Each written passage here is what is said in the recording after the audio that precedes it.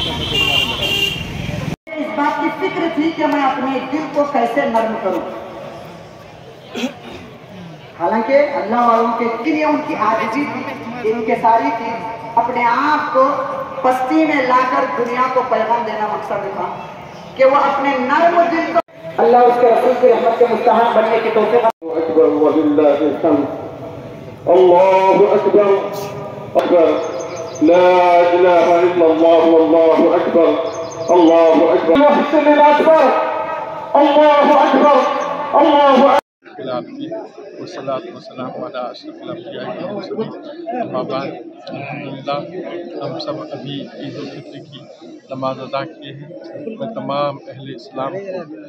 عید الفطر کی مبارکباد پیش کرتا ہوں اور اللہ تعالیٰ سے دعا کرتا ہوں۔ اللہ تعالیٰ عید کے عیدی کے موقع پر تمام مسلمانوں کی بخشش فرما دے اور تمام مسلمانوں کے جان کی مال کی عزت کی آبرو کی حفاظت فرمائے۔ تمام مسلمانوں کے ساتھ سفرادی کے معاملے فرما دے۔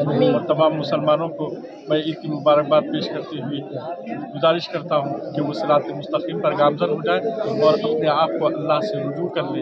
ہم کے آپ کو اللہ سے رجوع کرنے کا موقع ہے۔ اللہ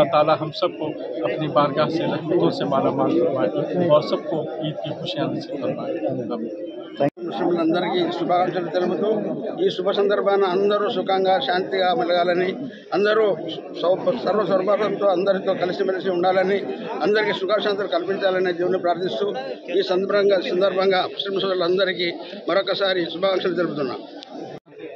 అందరికీ ముస్లిం సోదరులకు నేను సైఫ్ షఫీ మజీద్ ప్రెసిడెంట్. అందరికీ నా తరపున మా కమిటీ తరపున అందరికీ ఈద్ ముబారక్ ఇస్తున్నాము.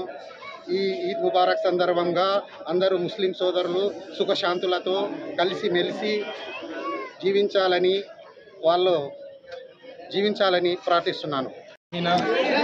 ఏ బర్కతో కా మౌసం హై?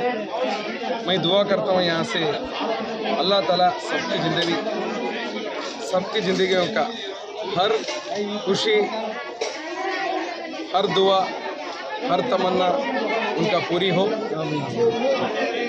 چندر بابو صاحب، جناب چندر بابو صاحب کی طرف سے نارا لوکیش صاحب کی طرف سے، تمام تیلگو دیشم پارٹی امیدوار کی طرف سے میری طرف سے، اور ایک بار سب کو سب کو مسلمان بھائی اور بہنوں کو عید الفطر کا مبارک۔ شکریہ شکریہ۔